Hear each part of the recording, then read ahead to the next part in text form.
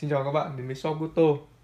Hôm nay Guto sẽ cùng với bạn review bộ dụng cụ của PowerFix Đây là cái bộ dụng cụ có 23 phần và được sản xuất bởi công ty Ovim của Đức và được phân phối ở trong chuỗi siêu thị Lidl. Một chuỗi siêu thị bán lẻ rất là lớn của Đức. Thì cái bộ này nó nằm trong một cái túi sách như này và có dây đeo.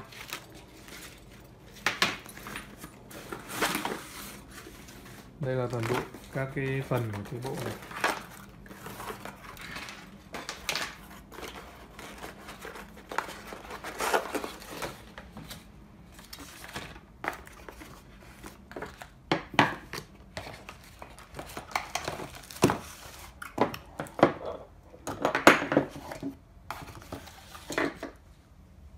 Đây là có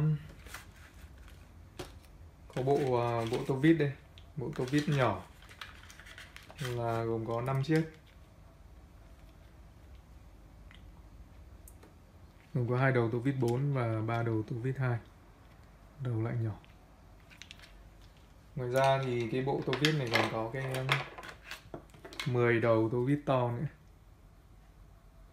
Gồm có hai cạnh bốn cạnh và hoa thị và sáu cạnh và một cái đầu để giữ đầu tô vít thì đầu này có từ thì nó không rơi ra được. Rất là tiện.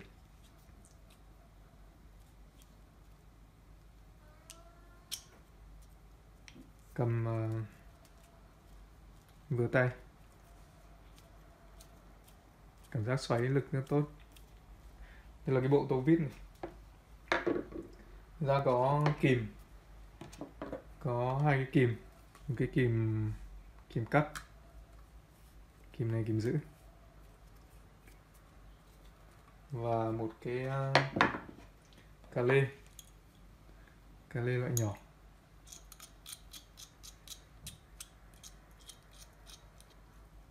Tối đa ở đây phải được là gần hai phân.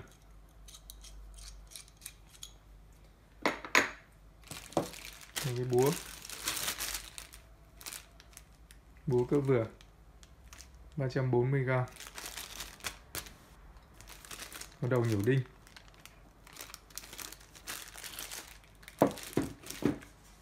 Một chiếc dao. Dao à, vỏ nhôm.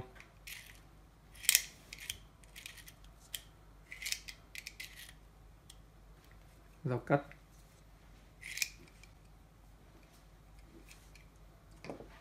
À, một chiếc à, một cái thước thước dây. Thước dây chiều dài 5 mét.